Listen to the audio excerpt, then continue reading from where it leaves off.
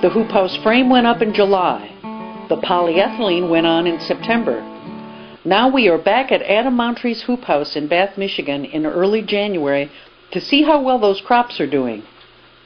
What crops will you put in in the next rotation? All right, so we were just doing our crop plan. So crops we'll put in next are similar to the crops that you're seeing in here right now. So we've got some scallions and some carrots down at that end that we've been harvesting off of since um, November 4th, I think was our first harvest. Um, the people that buy from us really like scallions and carrots. That's something that most people order every week.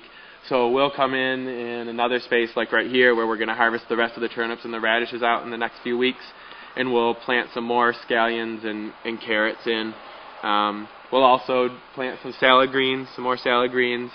Um, we'll also come in with some radishes and turnips again, though in a different place. So we might switch those, and they might go where the scallions were for rotation purposes.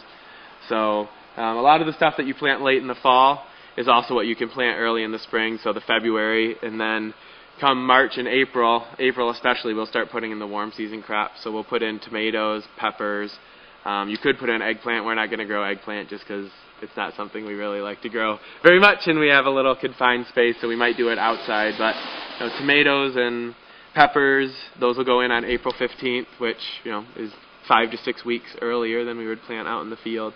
We hope to harvest those by at the latest July 4th. But we've harvested tomatoes as early as June 14th before on a warm year. So I think that was two years ago when it was really warm in the spring.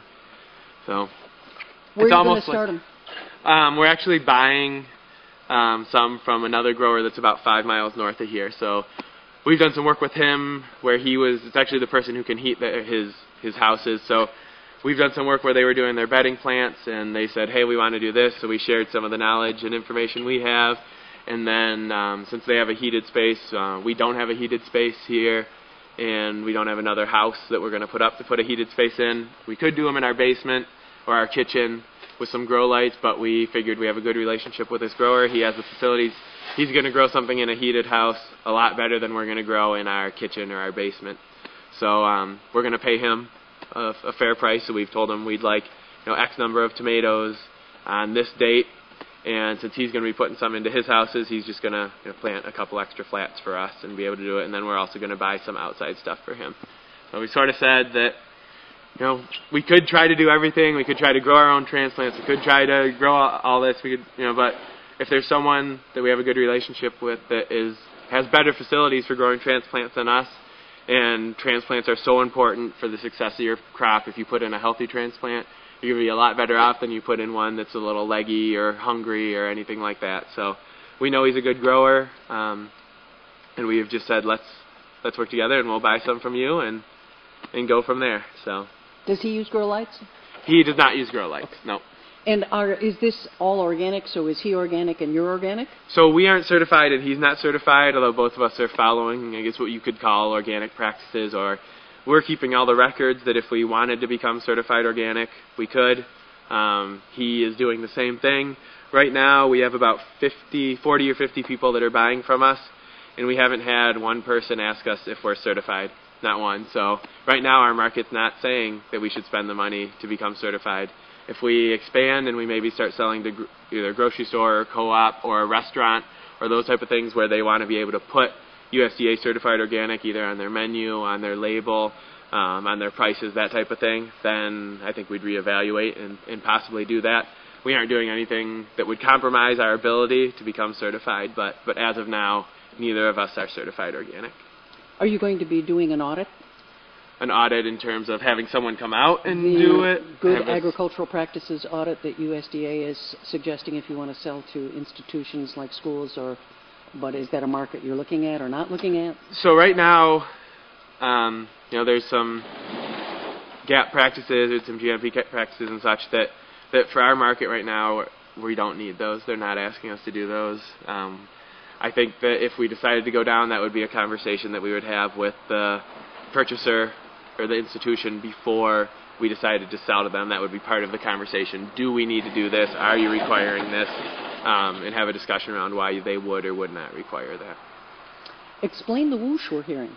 So the whoosh we're hearing is the snow from the top melting off. So usually what happens is, you know, it snows at night, it snows during the day, it's cold, and you get a little bit of buildup on the roof, and you know, as the sun comes out, like it is today, thank goodness, um, all that snow starts to melt off. It slushes off and builds up on the sides, as you can see, and which is kind of nice because then it acts like a little bit of insulation on the sides, as long as it doesn't get too high up. But that's just sort of the that's the sound of sunshine, I guess, in the winter. There it goes. That, right on time, right? That was that was the cue, and it did it. So it's just yeah, the snow melting off the top and more sunlight getting in here, more energy getting built up in the soil, and and uh, and more heat being built up. I envy you your peak. the peak does make a difference. The peak does make a difference, definitely. It makes a difference. So the peak makes a difference to help that snow come off, and also the two layers inflated polyethylene makes a difference. It's a little bit more rigid. You don't get sort of collapsing in, in between or bow, in between the bows like you do on a single layer. So having that tautness really helps to to slide that snow off also. Although clearly you can grow year round with a single layer. Um, if you do a single layer and you don't need electricity out to your house, then there's another cost savings there. But you do end up with you know somewhere people are saying somewhere between four and five or three and five degrees with the the double layer versus the single layer. But again, you can clearly grow year round in Michigan with a single layer of, of plastic. Any way to get a solar powered fan? I think so. So we haven't done it, but I think there are some people that have, have talked about it. It's only it's less than a five amp fan, so there's not a whole lot of, of energy it takes to power that. So I think that you would definitely need to have a battery backup um, where you could store some of that energy because when do we really want the double layer is when it's cold out. When is it cold out? Usually when there's no sun. So making sure that you had enough power or enough backup to be able to power it, but it doesn't take a whole lot to power that fan. So I think that there's uh, there's definitely potential for a solar powered little fan to run that. Talk to me about water. You put in a frost free hydrant. Yep. But um, you, it's not completed yet. You're still in the in process of putting it in, finishing it off. Right. So what do you do to water until the hydrant is uh, reliable? All right. So we did put a hydrant in both inside here, and then while we had the trencher, we got a couple other hydrants. So we put one um, that weighs about 60 or 70 feet, and then we put one where we will be growing in the field. We put one down, maybe I don't know, 70 or 80 feet, or 70 or 80 yards that way. So um, we did that, and what we did, we also put electric, and what we did is did it late in the season and tried to fill in the trenches and, and get it filled in in time, and unfortunately, with other things going on, we got it about halfway fill. So right now, we used the water up until early December. Um, the line, I don't, well, I don't know the line is frozen. We knew we weren't going to be able to get it filled in because of other commitments. Um, so it's it's four feet down, but it's not covered up with any dirt, so it's exposed. So what we did is turn the water off inside the house so that that line would be empty and opened it so that line would be empty and we wouldn't have any freezing damage in the winter. So hopefully when we turn it on here in late February or March, depending on the weather, we'll be able to get water coming through that. So what we've done in the meantime is not watered. So um, fortunately, I guess, so unfortunately, things haven't been growing because it's sunny I mean, because it's cloudy, but fortunately that means we need to water less. So we haven't watered since about the middle of uh, November, or end of November, early December out here at all. We've still gotten some growth. We had good water buildup. We had good soil moisture going into the winter, so I think that was part of what allowed us to carry through. Um, with it being this sunny, I was hoping to water this morning, so we do have a frostless faucet on the house and hoses enough to reach out here. So I got it all hooked up and ready to go and stood out here and turned it on, but uh, the two of the hoses were frozen because they were outside and I didn't drain them in, in December. So human error, not not anything else.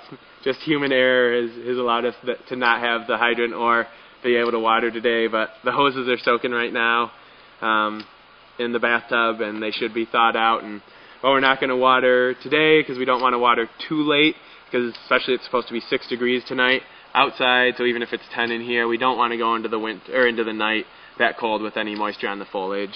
We also are going to harvest. Well, it's Tuesday, so we also harvest on Tuesdays. So we didn't want to water and then harvest stuff and have the chance of spreading disease. So hopefully we'll get another sunny day this week or this weekend, and we'll keep the hoses inside until then and be able to come out and and put some water on here and and if we get some more sunny days, be able to start getting stuff growing again.